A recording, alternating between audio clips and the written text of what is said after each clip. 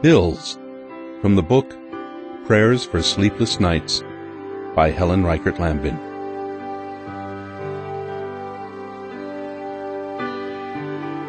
There are a lot of things I'd rather talk to you about God than money.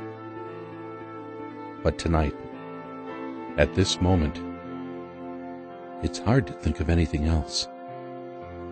The bills are there. The money isn't. It isn't that I'm asking for luxuries.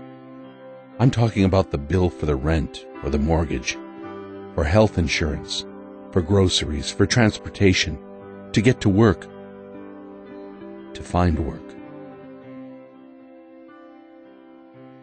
And I must admit a, a little left over for some small luxuries, for my family, for me, and for others in need.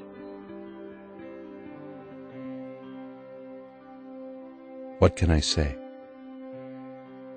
I can only bring my prayer to you, giver of surprising gifts.